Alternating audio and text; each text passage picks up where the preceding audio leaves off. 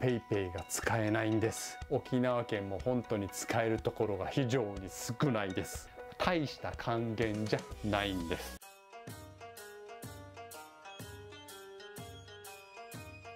サワディーカップこんにちはのぶです。のぶ沖縄情報チャンネル始まります。こちらのチャンネルでは沖縄県民のための沖縄の情報最新情報お得情報をお届けさせていただいてます。もしよかったら最初にチャンネル登録横にあるベルボタンを押していただければ通知が届きます。ので是非よろしくお願いします。ということで本日はちょっとタイトルですね。煽ったようなことになってますけれど PayPay が使えないんです。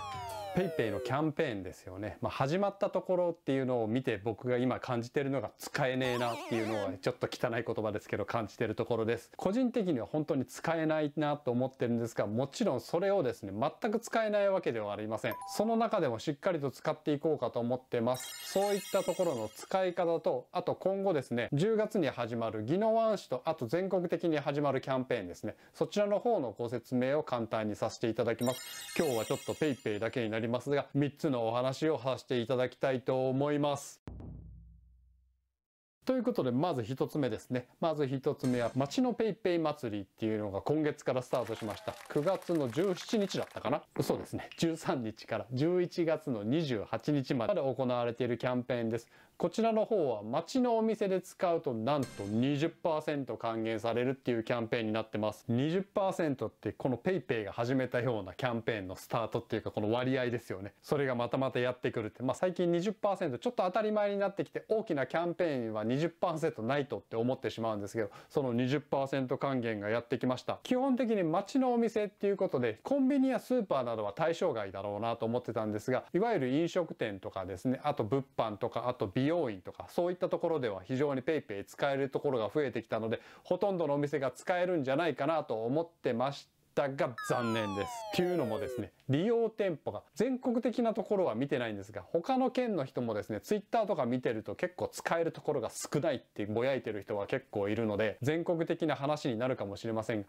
沖縄県も本当に使えるところが非常に少ないです僕の会社 RTC もですね PayPay の加盟店に入ってるので今回のキャンペーン使える店舗になってますちょっとだけ宣伝しておくと360度カメラですね Google ストリートビューなどに載せる360度カメラの撮撮影あと動画などの撮影まあちょっとお試しのような簡単なインスタ360-1っていうものを使った360度動画や写真などを撮影するのでお試しで5000円でさせていただくところ PayPay のキャンペーン使っていただくと実際には4000円消費税入れると5500円から5500円が20%還元されるっていうキャンペーンになりますのでもし興味があればぜひそちらの方も活用してみてください。でちょっと宣伝は置いておいて僕の会社が加盟店なのでちょっと感じてたんですが実はですね事前に今回のキャンペーンに参加するのに申し込みが必要でした。以前はですね多くの加盟店ほとんどで使えるキャンペーンっていうのは基本的に全ての加盟店で使えて辞退する時に申し込むっていう形だったんですね。でもですね今回は加盟店側から今回のキャンペーンに参加しますっていう申し込みをしなければいけませんでした。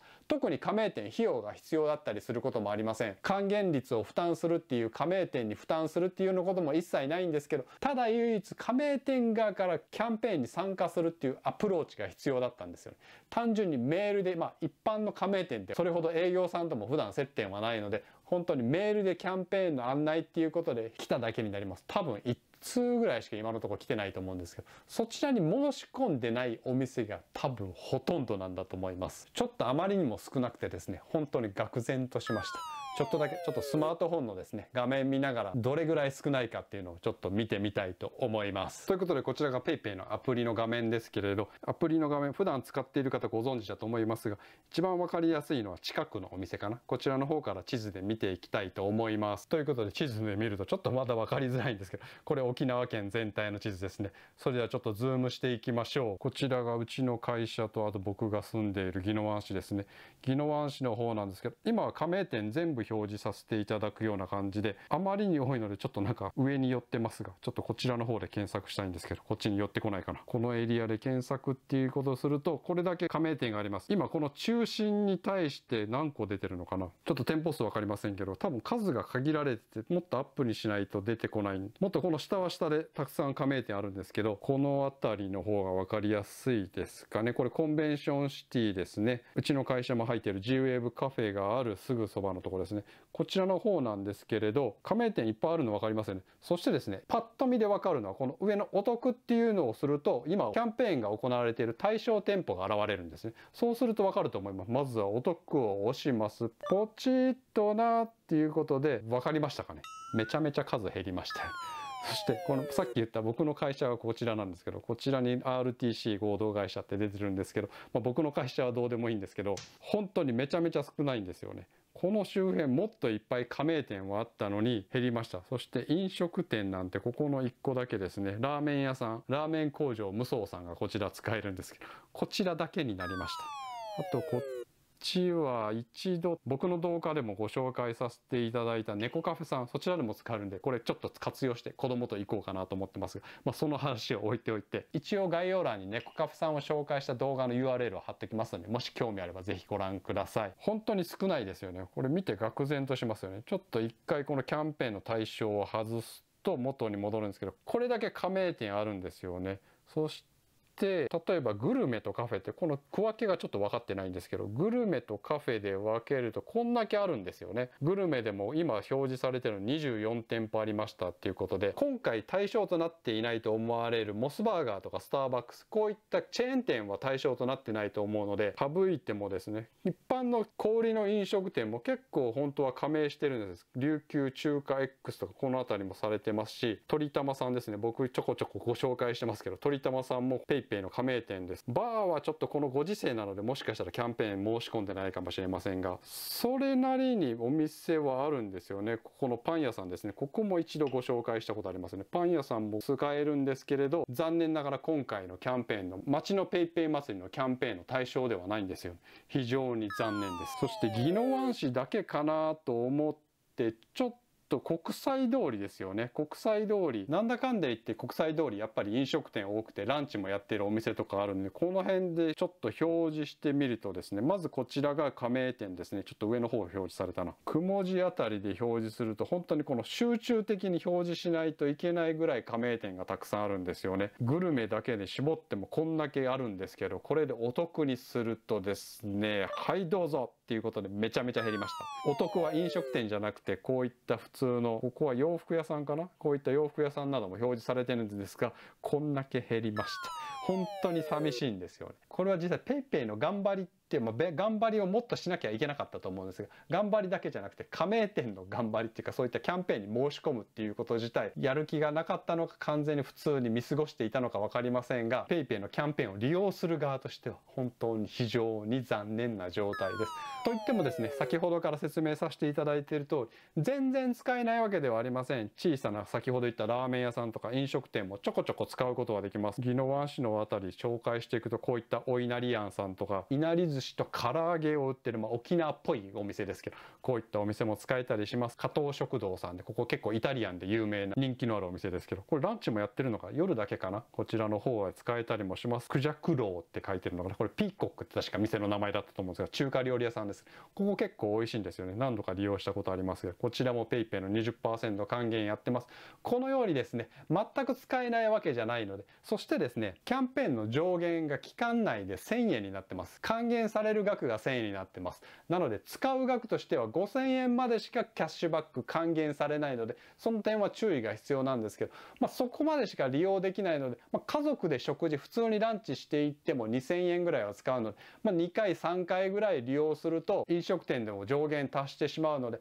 それぐらいなんでちょっと利用できるとこは少なくて選択肢は減ってしまってますがぜひガンガンそちらの使えるとこですね。しっかりと加盟店としてキャンペーン申し込んでいただいた加盟店の方を応援するという意味でもぜひそちらの方は上限まではしっかりと使っていきたいと思います。ということで1つ目のですね PayPay の街の PayPay 祭りのちょっと残念なお話でした。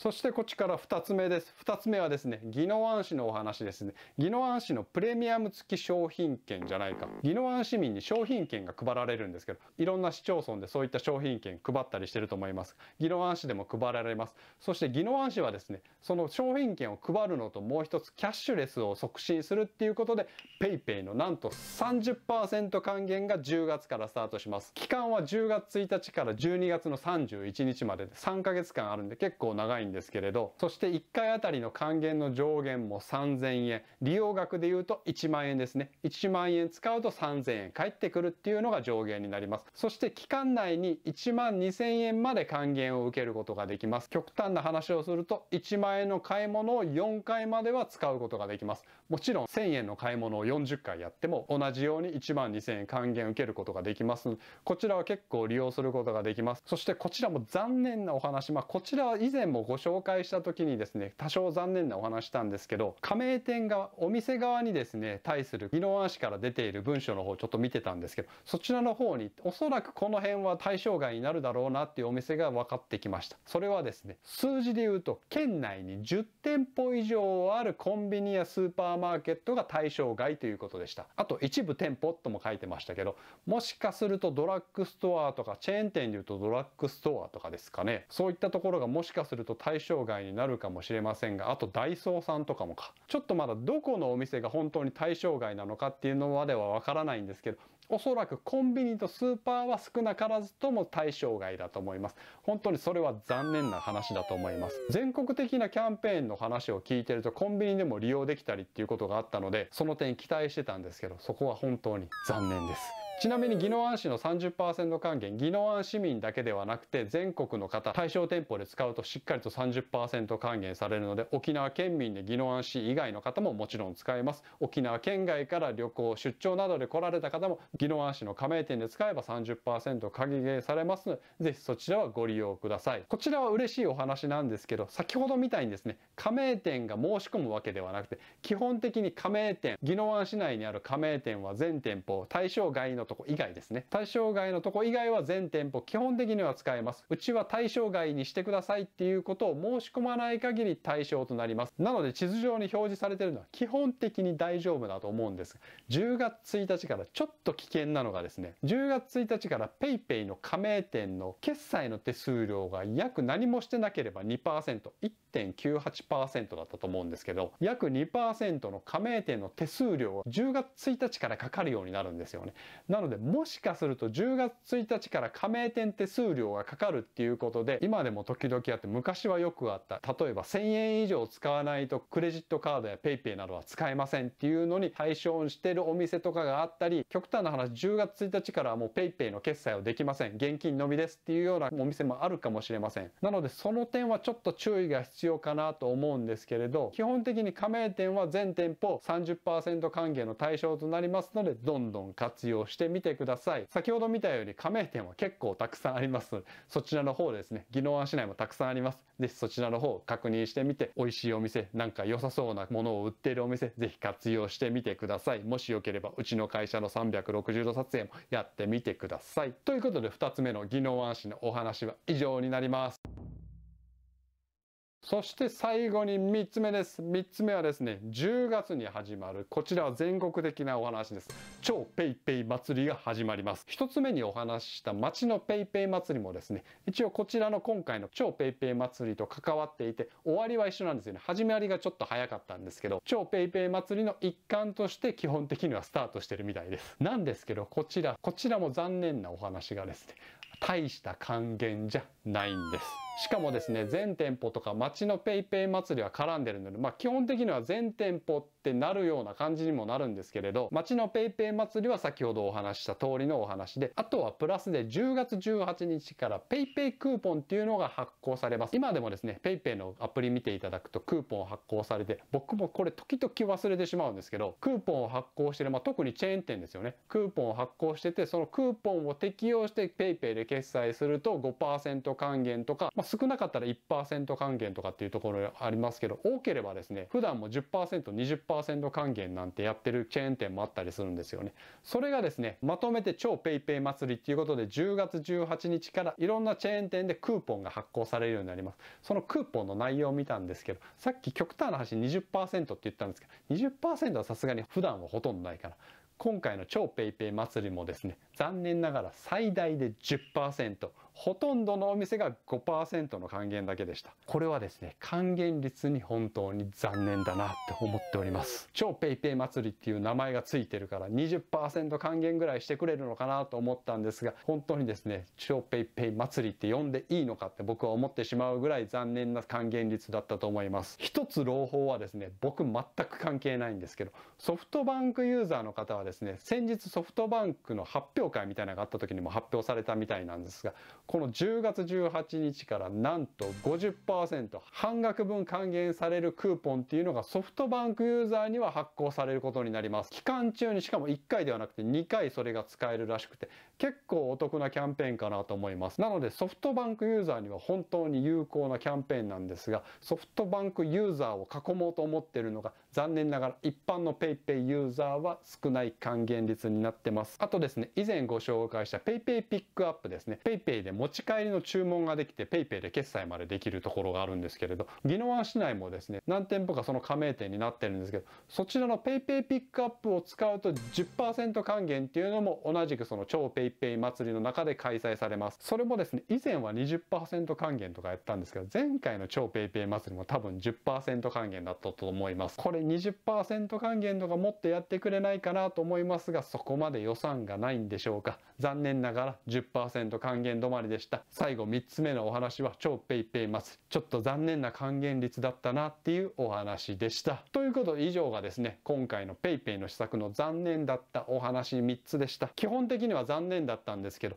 もちろん活用しないわけではありません。特にですね街の PayPay 祭りは20%還元です飲食店なども多少は使えるのでぜひこちらの方はしっかりと使っていきたいと思います。10月の超 PayPay 祭りについてちょっと10%還元でしかもチェーン店なのでチェーン店でちょっと買い物とかそういったご飯とか食べようかなっていう時はおそらくその超 PayPay 祭りの加盟店のところに行こうかなと思いますがその無理やり行こうかなっていうところまでは考えられないかなっていうようなキャンンペーンですね。あと宜野湾市で行われる30%還元。こちらについては僕飲食店ではいろいろ活用させていただこうかと思います。是非皆さんも積極的に活用してみてください。ということでこちらのチャンネルでは沖縄県民のための沖縄の情報などを配信させていただいております。普段は美味しいご飯のお店なども配信させていただいたり時々です。ねこういったお得のお話もお話しさせていただいております。もしこの動画が役に立ったなと思っていただいたら高評価。是非チャンネル登録もよろしくお願いします。それでは本日も最後までごご視聴いただき本当にありがとうございました。